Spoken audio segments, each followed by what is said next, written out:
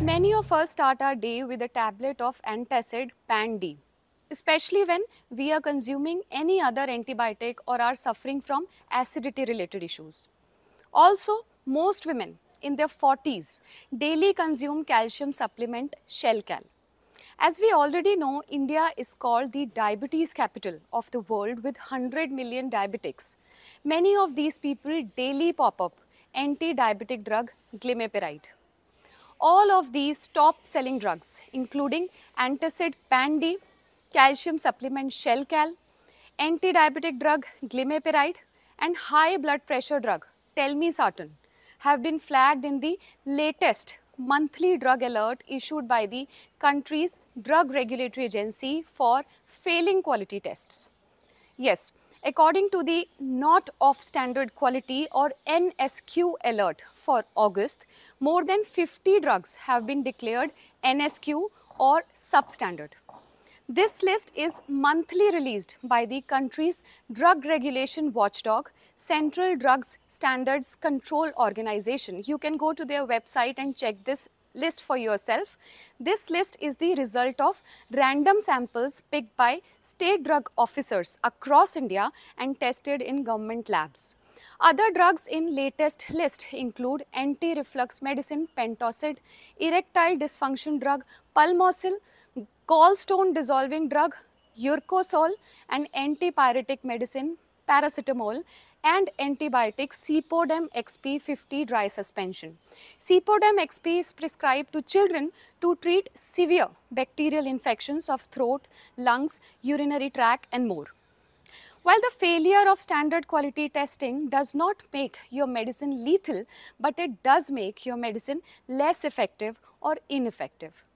This list is released monthly by, but the latest one holds importance due to the failure of critical and essential medicines manufactured by several top pharma companies including Hetero Drugs, Sun Pharma, Glenmark, Alkem Laboratories, Hindustan Antibiotics Limited and Karnataka Antibiotics and Pharmaceuticals Limited. But the companies have denied any responsibility for the manufacture of these drugs.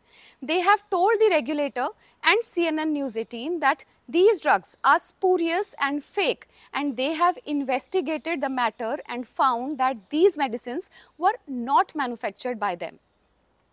Even if we go by the replies of the drug makers that these drugs are fake, it's a big concern.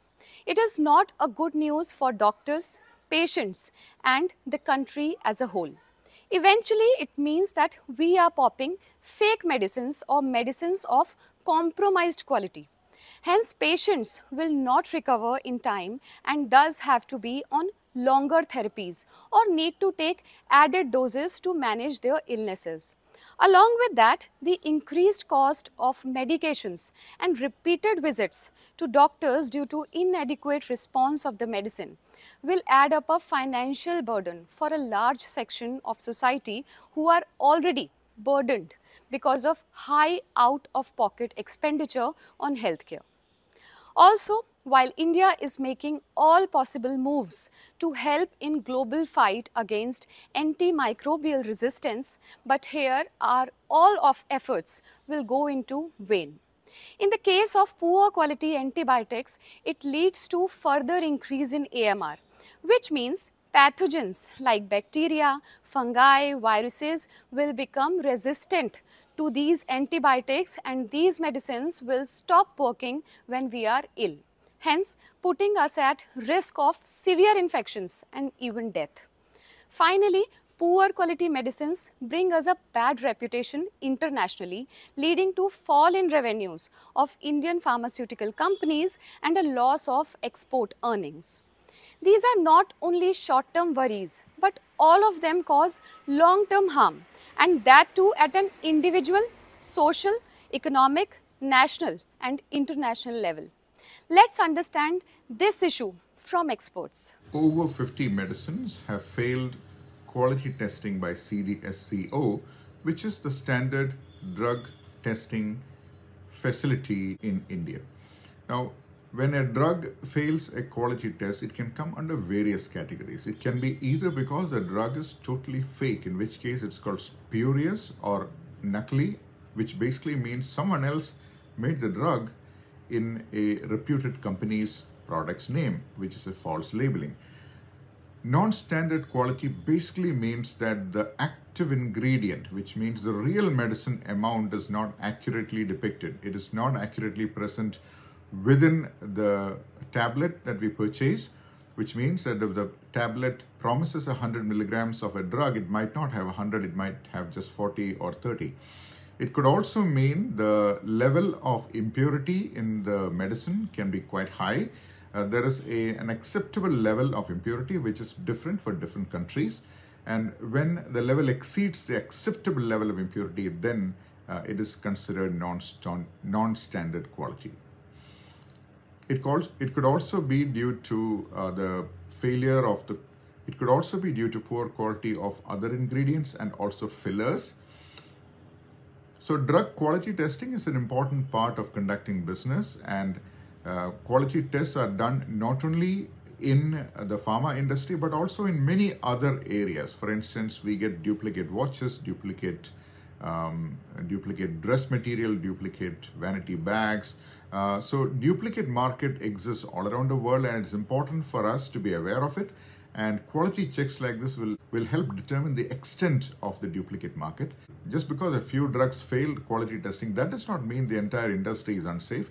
It means that steps have to be taken to reduce or minimize or bring it as close to zero as possible and also to improve the manufacturing practices of the various firms who are producing these medicines and these firms can be either big or small. And in the current list it is interesting that many large pharma companies names have been featured also involving many popular medications. So steps have to be tightened to uh, to improve the quality control of uh, the medications that are produced, India being uh, the pharma capital of the world, it's very important that the medications we produce are of the highest quality. And quality checks like this will go a long way in ensuring that patients do get the right medicines at the right doses and quality. As a word of caution, it's always important not to take medicines on one's own. For a health problem, it is better to follow the doctor's advice to see if medicines are necessary and if necessary for how long and when it must be stopped.